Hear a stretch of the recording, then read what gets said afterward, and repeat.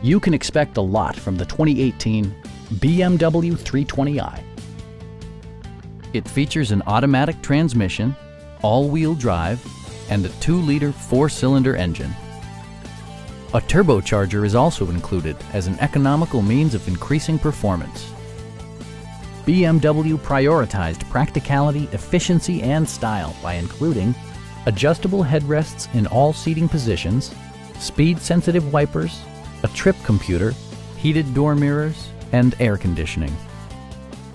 Audio features include a CD player with MP3 capability and nine speakers, providing excellent sound throughout the cabin.